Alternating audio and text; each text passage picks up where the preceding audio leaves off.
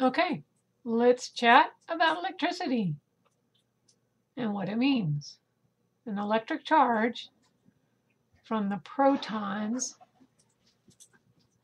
Now I've seen the sign protons like the positive there. And electrons, the E spinning around out there. Those are the negatives. So if you remember, an atom, it has that nucleus, and the protons are in there. And then spinning around the outside are the electrons. Those positives and negatives, those are important to understand so you can understand electricity. There's static electricity, which means it picks up or increases a buildup of electric charge on something. For example, like a balloon, you rub it against something, and it's picking up those charges. It could be a whole lot of negatives or a whole lot of positives.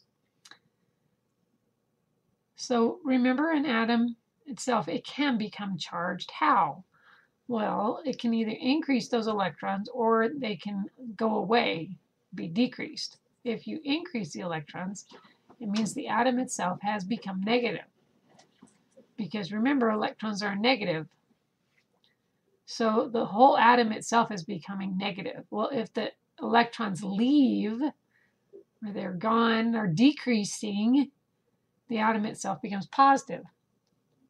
The law of conservation of the charge, of, of charges, those positives and negatives, they can switch around, but overall, the whole total of positives and the total of negatives cannot change. They cannot be destroyed or, or created.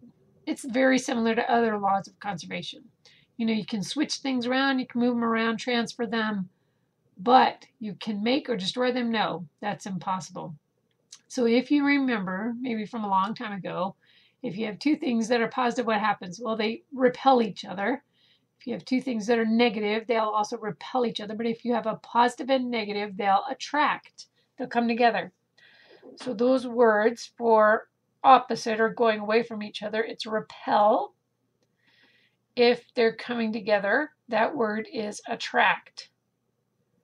It's important to also know that. So when we're talking about the charges, the positives and negatives and stuff like that, there are some materials that can carry electricity and some that can't, some that block it.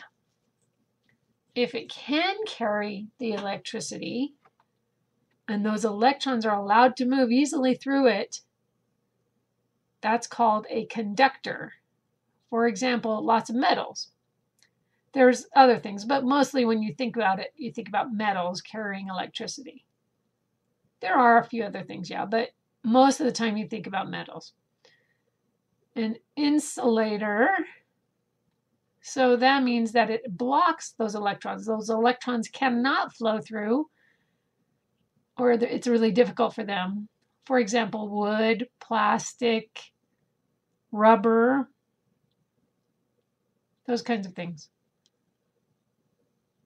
Remember, you can add a charge, positives and negatives, those charges, and there's two different ways you can do that.